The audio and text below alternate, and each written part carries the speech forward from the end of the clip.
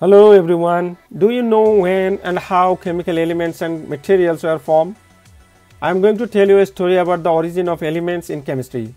But before that, I would like to introduce myself and my YouTube channel. I am Professor Dr. Muhammad Asadullah, a chartered engineer, and I welcome you to my YouTube channel, asadchemacademy.com.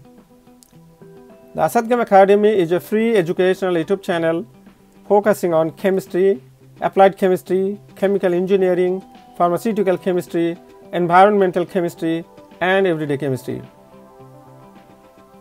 The goal of this YouTube channel is to help you learn how to learn chemistry for lifelong application.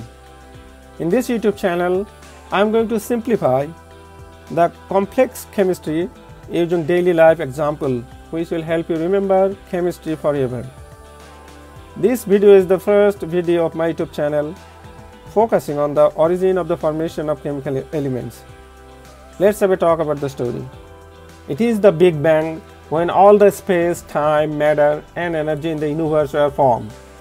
Based on the scientist community, the Big Bang is a gigantic explosion which hurled matter in all directions and caused space to expand.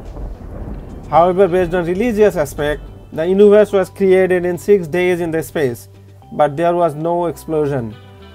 According to the Big Bang theory, roughly around 13.7 billion years ago, a gigantic explosion occurred in the space and produced all the protons, electrons, neutrons, positrons and photons that filled the space and it was incredibly hot and the temperature was around billion degree Kelvin.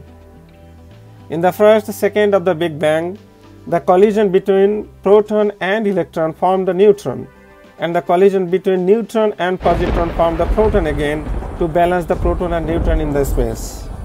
Within the first 3 minutes of the Big Bang, as the universe was expanding, the temperature was cooled down so that the collision between proton and neutron formed the deuterium, which is an isotope of hydrogen. The temperature at this stage was so high that fusion reactions could take place. This resulted in the formation of light elements like hydrogen, helium, lithium and beryllium. After around 200 million years of the Big Bang, the stars were formed and reionized the universe. The temperature was still more than million degrees and thus the fusion reaction was continued to occur to synthesize different elements. Most of the elements in the periodic table were formed in the stars. However, in an event, certain star was exploded again and this phenomenon is called supernova. During this explosion, the elements like carbon, nitrogen, oxygen, silicon, magnesium, iron and so on up through uranium were spread throughout the universe. Then all elements, gas, dust combinedly formed a giant rotating cloud and this was the initial stage of forming the solar system. Thank you for watching the video. I hope this video is useful to know the origin of chemistry. If you enjoyed this video, click the like button and then leave your comment. And don't forget to subscribe and share the video. Please subscribe to my channel to get brand new videos at least twice a week. Go ahead and click the subscribe button right now. Bye for now and see you soon in the next video.